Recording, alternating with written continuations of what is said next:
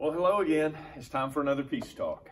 I wonder if this past week or over these past several weeks, you have at any point said, I just can't do this.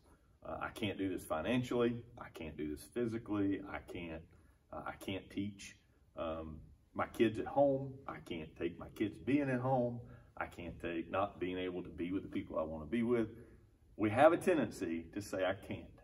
Well, my encouragement to you today that Jesus Christ has promised us that we can. The Apostle Paul wrote in Philippians chapter 4 as we continue to look at this really special chapter of Scripture regarding the peace that it gives us.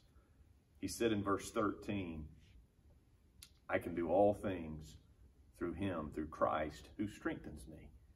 The Apostle Paul knew that his strength to do anything that was put in front of him, anything that was required of him, anything that he had to do, that strength was going to come through his Lord Jesus Christ.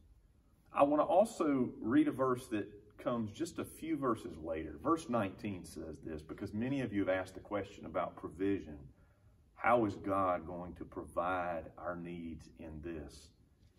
And Paul said, the same God who through Christ will help us do all things. He says, and my God will supply every need of yours according to his riches in glory in Christ Jesus.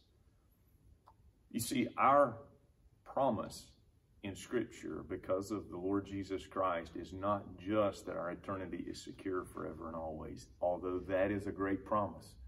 And in difficult times, it matters so much to know that Jesus Christ is our Lord and our King and the one through whom we find salvation.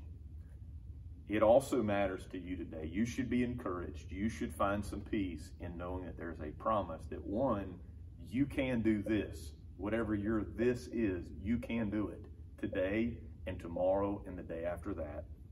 But secondly, our Lord Jesus Christ, our God, through Jesus, will provide all of our needs. Today we can be at peace because in Christ we can do all things. Remember that. Peace.